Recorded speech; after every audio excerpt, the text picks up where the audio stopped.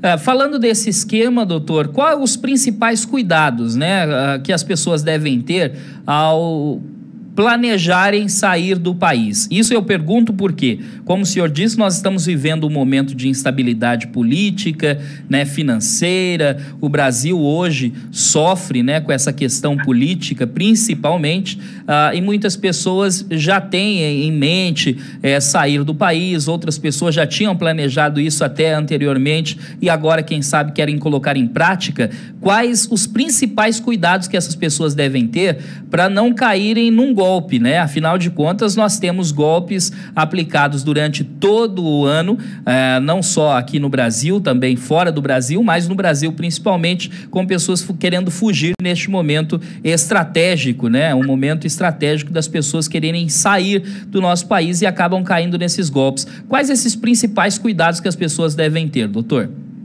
Primeiro de tudo, contratar um advogado, né? Conversa com um advogado, advogado de verdade, não empresa de consultoria. Empresa de consultoria não tem é, nem capacidade postulatória nem capacidade de representação. Então, eles não podem te representar porque eles não têm capacidade de receber aí uma, uma uma procuração juridicamente válida para representação.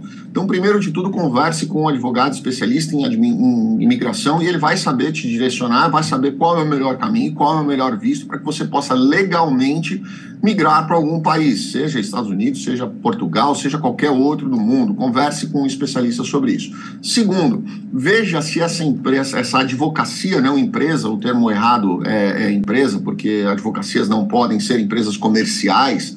Uh, veja se essa advocacia ela tem realmente experiência nessa área. A gente vê que, que infelizmente, aí, principalmente muitas pessoas, em razão da, da deficiência do mercado, eles acabam pegando um pouco de tudo, né? E se o advogado faz direito trabalhista, por exemplo, aparece alguém querendo migrar para algum país, ele fala: "Não, deixa comigo, eu vou estudar e eu vou tentar te orientar nisso daí". Mas você não aprende isso do dia para noite, você não aprende isso em um ano, dois anos, cinco anos, você não vai aprender tudo o que você precisa aprender para efetivamente fazer um processo de qualidade. Então converse com alguém experiente, converse com um advogado experiente, ele vai saber direcionar você, vai saber te, te encaminhar para o melhor caminho, pela melhor rota para você chegar ao seu objetivo. Doutor Daniel Toledo conversando conosco aqui na programação, ele que é advogado da Toledo e Associados e agora professor do primeiro curso de pós-graduação em Direito Internacional com foco na imigração para os Estados Unidos na PUC de Minas Gerais. Doutor, muito obrigado pela participação mais uma vez aqui na programação da Jovem Pan.